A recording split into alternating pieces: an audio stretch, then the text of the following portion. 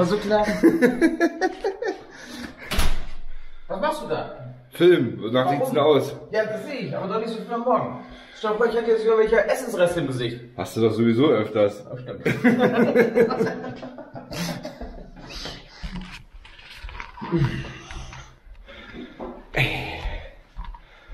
Hast du dich jetzt beklagt bei denen, dass du so früh aufstehen musst, oder was?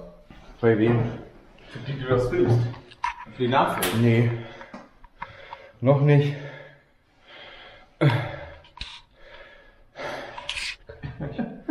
Und Zweifel den Scheiß. Ehrlich. Bisschen?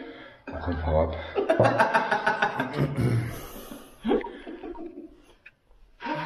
Tee. Erstmal nichts, danke. Ah. Gott! Ich bin gestern fünf Stunden Auto gefahren. Hör auf zu heulen, du bist überhaupt eh gefahren. Ja, ID3 ist gefahren. Ja, das stimmt.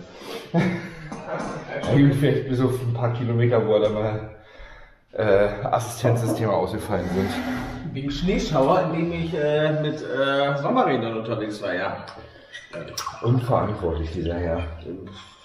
Unverantwortlich. Also ich, ich persönlich fahre ja immer auf Felge, weil dann hast du ja kein Problem von wegen, ja, Sommer, Winter, Sommer, Winter, Sommer, Winter, kannst du nicht entscheiden. Das stimmt. Ach. Ja, das stimmt. Rutscht zwar manchmal ein bisschen in der Kurve, aber Ja, die gucken mal so komisch, wenn die Funken hey, läuft schon. Da ist man aber wieder ähm, dankbar für so eine große Stadt, ne? Auf den Straßenbahnschienen läuft es umso besser mit den Dingern. Richtig, genau. Musst du manchmal ein bisschen hupen, wenn da so eine blöde Straßenbahn vor dir anhält, aber. Ja, stimmt. Ja. Oh Mann, Alter, was ist denn das für eine Uhrzeit?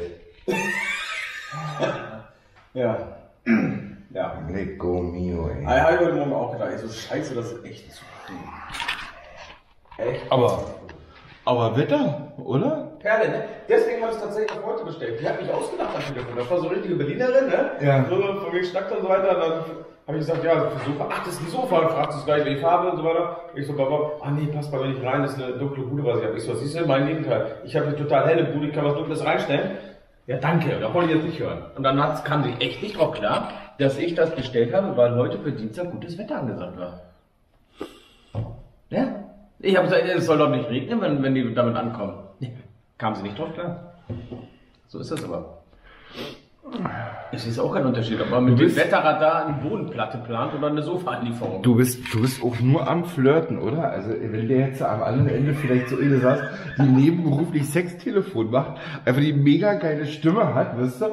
Aber dann wahrscheinlich irgendwie so eine, so eine Ü50-Drohne ist. Pommesbude für Gold mit kurzer Haare, rote Haarsträhne. Oh, Kopf. Das letzte Mal gesagt? Ach, beim Einkaufen. Aber da sehe ich die wenigstens. Ja, das stimmt allerdings. Kuckuck.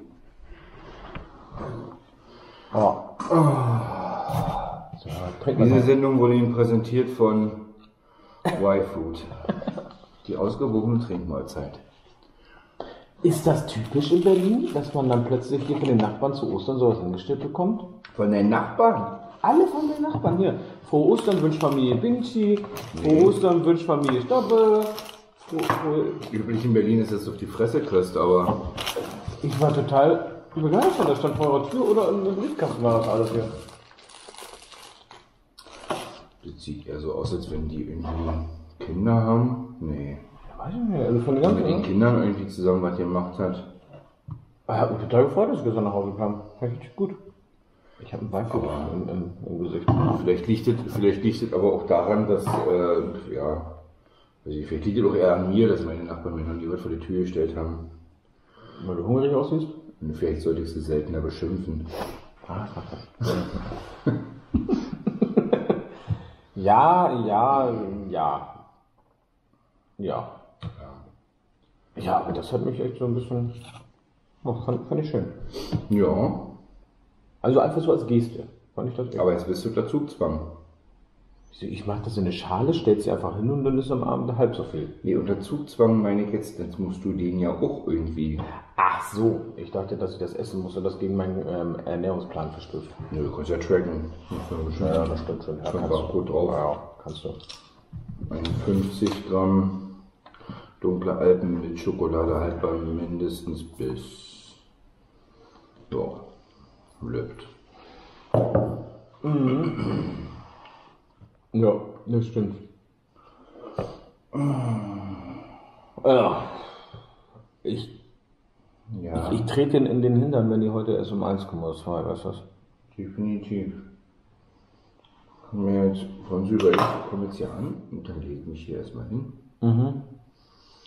Alter. Ich wollte nie aufstehen. Das ist nicht in meiner Zeit. Ja,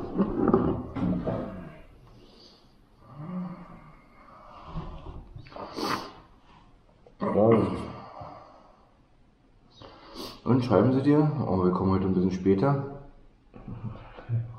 das ist schön, ne? Wie sieht's arbeitstechnisch aus? Wann hast du dein erstes Meeting? Mal kicken, was das in der Kantine gibt, wa? Oh, heute ist Schnitzeldienstag. Schnipo-Dienstag. Ich hab's im Tropical immer, Alter. Schnitzelmittwoch. Ja? Ey, und dann hat einmal, dann kam einmal dieser, dann gab's ja natürlich diese fertig vorpanierten Schnitzel, die wir einfach nur abgebraten, ne? Mhm. Und dann kamen die nicht vom Lieferanten. Und so, Ja, kein Problem. Komm morgen. Okay. Naja, dann tauschst du die zwei Tage, ne? Ja. Denkst du dir so, boah, machen wir heute halt ein Ragout und morgen Schnitzel. Pff, Arschlecken. Fällt dir nur keiner tot um, Hauptsache es gibt was zu essen, oder? Hast du die Rechnung ohne den Wirt gemacht. Aber ohne Frage, Alter. Da ist Schnitzelmittwoch, da war immer extra voll in der, in der Kantine. Da sind sie alle gekommen. Weil das war dort so, du musstest nicht per se bezahlen, sondern du kennst ja bestimmt von Daimler, du hast halt dann deinen, deinen Mitarbeiterausweis gescannt und hast halt dann bezahlt, wenn du gegessen hast. Ja. So, und wo du sonst halt, keine Ahnung, ich sag mal, 300 Essen hattest, hast du an dem Tag 800 Essen. Ach du Scheiße. Ja. Und äh, dann standen die alle da. Schnitzel, Schnitzel, so, so, so, so übertrieben gesagt, weißt du, du stehst da und sagst, Ich hab nö, Gulasch. Gulasch, Gulasch. Und die alle so, äh, Schnitzel jetzt morgen, ich frei. Die hatten sich tatsächlich ihren Dienstplan nach diesem scheiß Schnitzeltag gelegt. Naja. Und ohne Scheiß, pass mal auf, wir mussten beim Betriebsrat antreten. Was fällt euch ein? Und ich sage, ich sage dann, ja, ich sollte hierher kommen.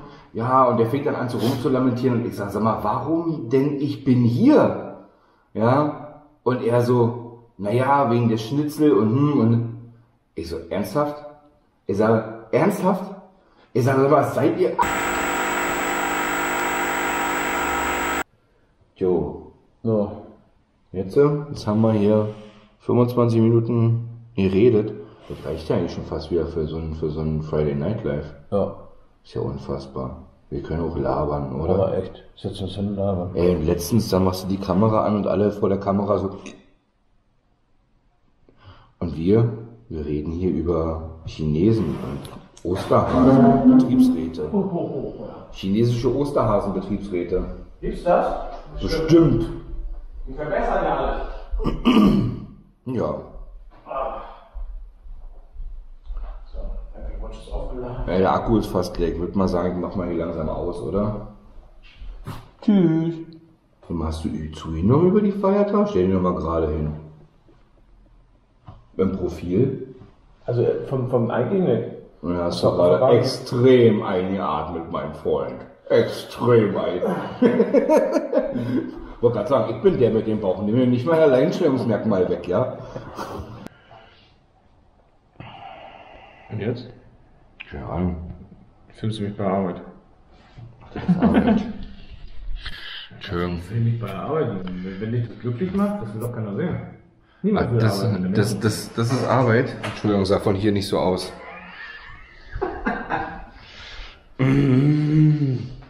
Ich habe mal, ich hab mal eine Frage. Ja, pass auf. Also ich habe jetzt hier gerade was hier entdeckt und das wirft so einige Fragen auf. Du hast jetzt hier so eine Osterkiste, ne? Ja. Und jetzt hast du hier vier so eine Oreo-Eier drinne. Jetzt hast du aber in dieser Halterung nur zwei Löffel gehabt. Ja, wer wird denn von einem Ei satt? Du willst mir nicht erzählen, dass du mehr als ein Ei isst. Komm, du, du, du, Ich du hab das trackst das, hingestellt, damit du die weginhalierst. du trackst doch das Ding und, und, und, und isst halt eine Woche nichts. Trinkst nur Wasser oder so. Aber das ist genauso wie bei McDonalds mit den Chicken Nuggets. Ja. Wie? Na, bei sechs Nuggets kriegst du eine Soße. Bei 9 kriegst du 2. Richtig. Und bei 20 kriegst du drei. Merkst du selber, ne? Das heißt, wenn ich zweimal 9 kaufen würde, hätte ich 6. Dann, hätt, dann hättest du, äh, nee, dann hättest du vier Soßen. Ah, 4, ja genau, 4. Dann hättest du 18 Stück und vier Soßen. Und so habe ich 20 und 3. Ja, zahlst aber natürlich auch mehr. Also, ne, aber das ist so, hä? Ne, ich zieh das mal runter. Doch mal.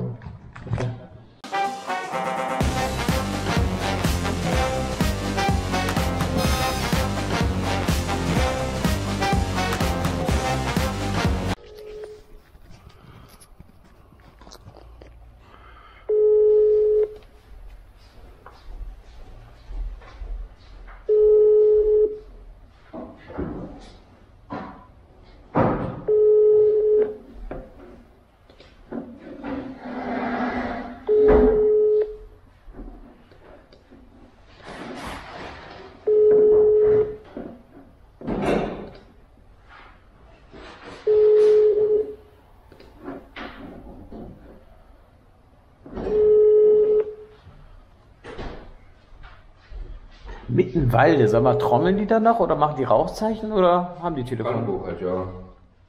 Ein bisschen was von allem. Ist das so bescheuert? Das ist doch... Ich tipp mal drauf. Das Büro wird nicht besetzt sein. Oder das Ding ist so stumm. Sonst wäre da schon längst jemand dran gegangen. Wie heißen die Raben? Äh, Lukas, will was anderes ausführen. Tja, so ist es. Genau, such dir mal ein anderes Sofa raus. So ist es manchmal, wa?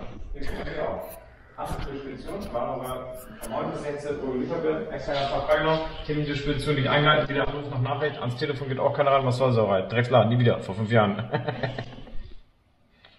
Sehr schlechter Service, schlechte Kommunikation.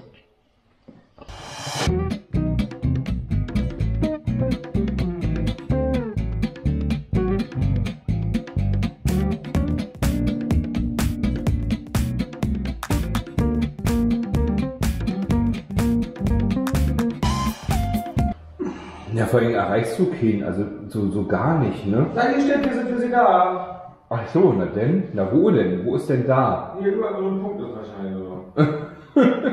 Ähm, wo hast denn du jetzt gerade angerufen? Du hast jetzt gerade über diese Zentrale. Hast du nochmal die andere Nummer probiert, die du mir geschickt hast? Nee. Deutschland. Berlin. Vertriebsabteilung. Ach, Berlin hat auch direkt einen. Na gut, Berlin ist dann so falsch. Da ist auf jeden Fall gerade besetzt. Die Nummer, die du mir geschickt hast. Da würde ich da mal jetzt direkt immer weiter probieren.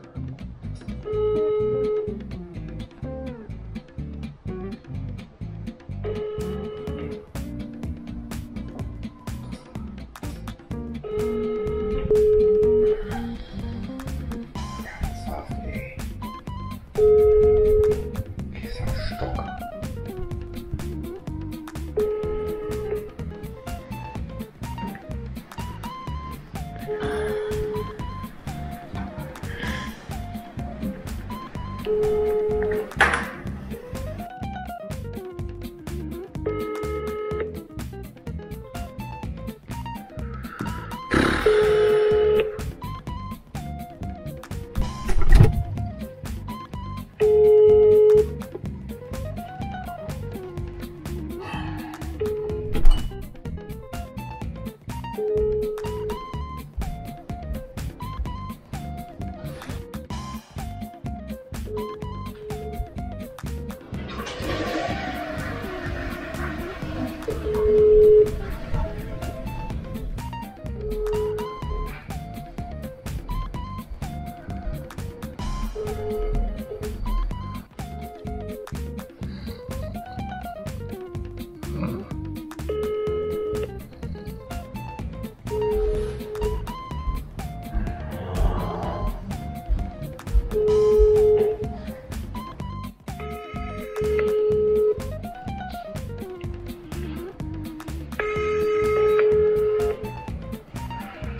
Effizienz erhöhen.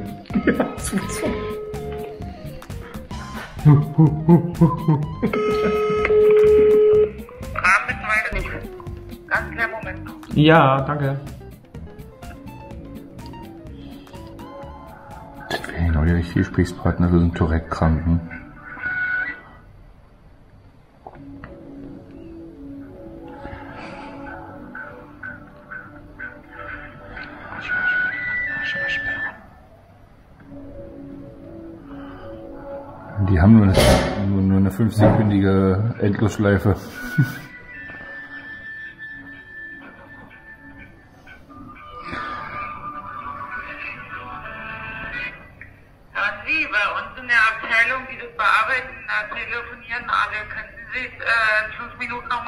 Ähm, 146 hinten probieren?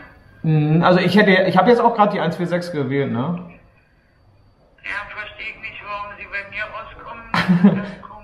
Ja, also wie gesagt, Ich bin, das, wirklich, ich bin wirklich die Lehrgutabteilung, deshalb wundert mich bitte, dass Sie bei mir rauskommen. ja, das ist komisch. Also ich hatte die 113 bekommen und die 146. Sie können ja nochmal in fünf Minuten probieren und wenn, dann kommen Sie bei mir wieder raus und dann gehe ich auch ran. Genau. Ja? Ach, dann schwätzen wir nochmal. Danke. Tschüss. Danke, tschüss. Und wo ist dein Sofa? In Mittenwalde. Bist du dir da sicher? Nein. Ich bin immer noch müde. Es ist inzwischen halb drei. Also 14.30 Uhr. Ähm, Ich bin immer noch müde. Wird heute auch nicht mehr besser bei ihm. Ich will nach Hause. Holt mich hier raus. Ehrlich. Ich bin ein YouTube-Star. Hol mich hier Ein raus. Nano, Nano-Influencer. Nano Holt Pico. mich, holt mich hier raus, ehrlich. Ich werde hier festgehalten. Hilfe. Ruf die Polizei. Ich mag nicht mehr. Die Schnauze voll. Und vor allem mich eingelassen. Es hieß, ja, kommst du vorbei, kannst du kurz mal kurz helfen, das Sofa hochtragen.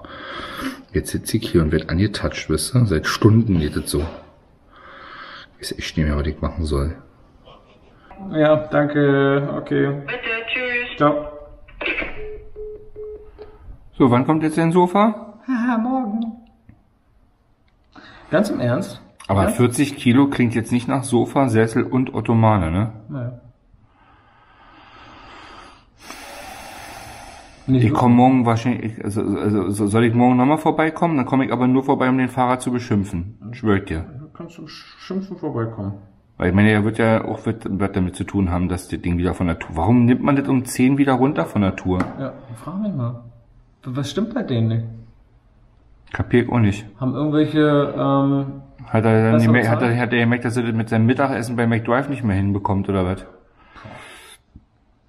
ja, so viel zu Rabenlogistik. Deutschland ein Servicewüste. Gut, ich fahr nach Hause. Tschüss. Ja. Du hättest jetzt gerne mal ein Sofa? Was mich ja noch wundert ist, ne, dass die Uschi gesagt hat, 40 Kilo.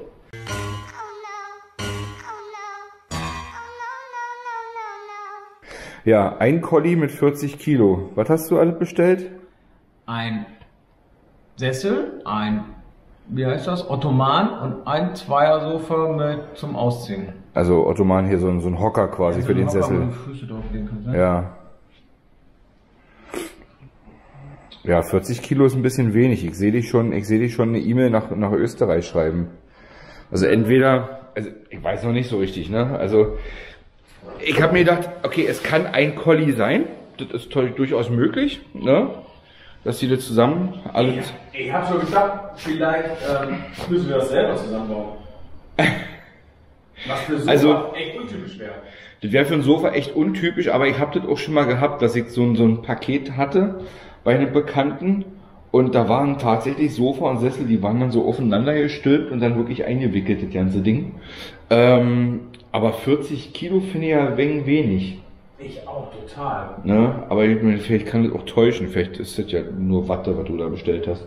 Weißt du, hast du mal geguckt, ist das aufblasbar?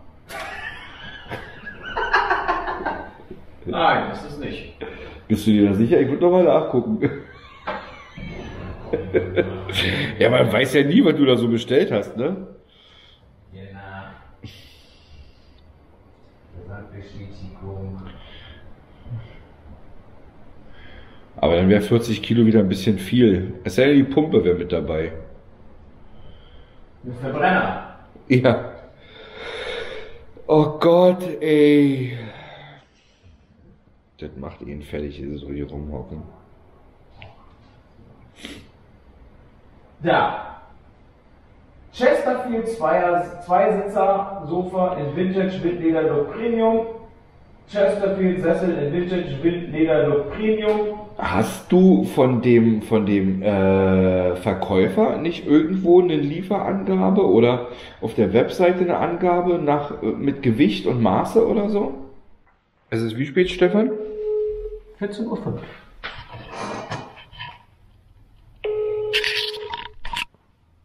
Das ist bestimmt wieder beim Mittagessen.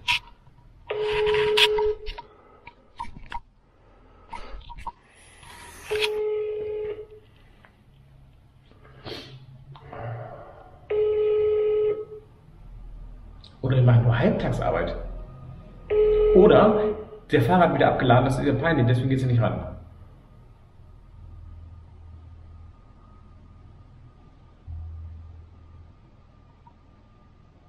Ey, sei mir nicht sauer, Stefan, aber ich muss irgendwann, ich habe irgendwann nochmal so was wie ein Leben, also. Ja, ich weiß, steht. Und das, Tut ähm, das nicht mehr. weiß ich nicht, vielleicht haben sie die geblockt. Und das findet definitiv äh, fernab von Rabenlogistik statt.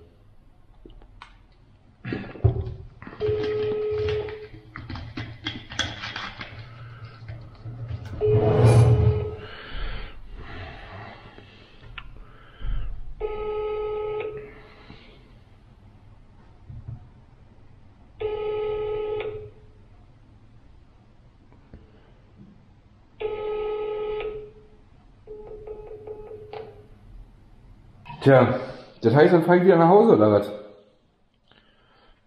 Oder was, oder wie, oder wann, oder wer? Ich kann ich definitiv nicht hier die ganze Zeit. Ja, vor allem ist es jetzt auch ungewiss. Jetzt, ich meine, wenn sie schon extra anrufen und sagen, sie kommen zwischen 12 und 14 Uhr.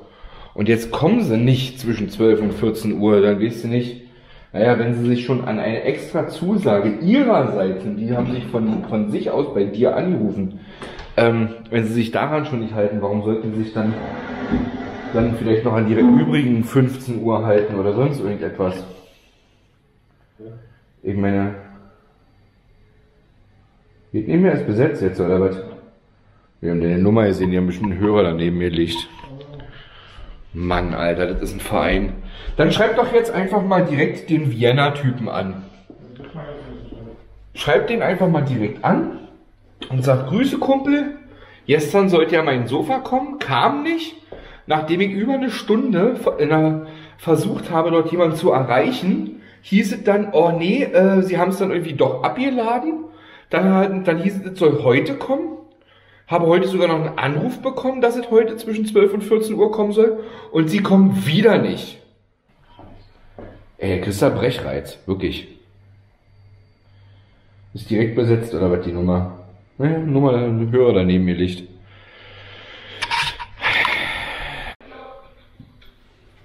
Ich bin mal gespannt. Ja, wie ein Flitzebogen. Jetzt kam's doch noch. Ist die voll? Ich hab schon Schuhe an. Nehme ich das Ding hier mit? Nee. Ich weiß nicht, was das ist. Na, Stefan, wo ist dein Sofa? Ja, das ist alles. Hast du ein Puppenhaus bestellt oder was? Tiny Fe- Furniture oder was? Keine Ahnung, Mann, Alter. Wollen die mich verarschen? Ganz im Ernst, wollen die mich verarschen? Alter? Dann mach doch mal auf jetzt das Ding hier. Ja, ich weiß nicht. Also, sorry, ne? Also hat sich bewahrheitet, was die, was die gute Frau jetzt dann gesagt hat, dass es ein Paket A 40 Kilo ist, ne? Genau, sie hatte absolut recht. Und es steht auch drauf hier, eins von eins, ne? Also da ist jetzt nicht vergessen worden oder so? Das ist jetzt nicht 1 von 3 oder so, das ist 1 von 1. Ich meine, eins von eins wäre auch okay, aber das ist definitiv nicht Sofa, Sessel und Ottomane, ne? Das siehst du jetzt? Das ist nur der Automat.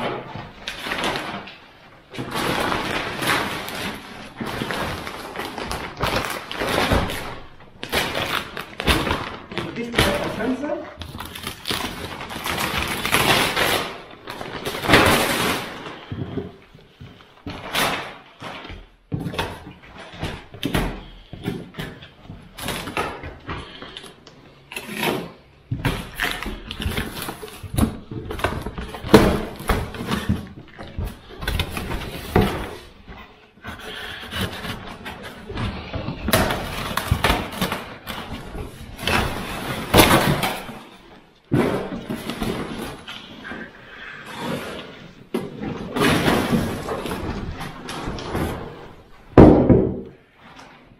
Mensch, schickes Sofa. Dann kann jetzt endlich dieser olle Stuhl weg hier. Jetzt kommt das Sofa. Ich mach mir Sorgen, dass der Tisch zu groß ist. Ja, komm mal her. Könnte aber als Zweisitzer gelten, oder? Und wo ist die Schlaffunktion? Der Tisch. oder Fötushaltung. Ja, Spaß mit Vienna International Furniture. Äh, und mit, mit tatkräftiger Unterstützung von Raben Logistics. Läuft bei uns. Ja, definitiv. So, ich muss jetzt wieder mal nach Hause. Ja. Du weißt keine Gelehrer noch?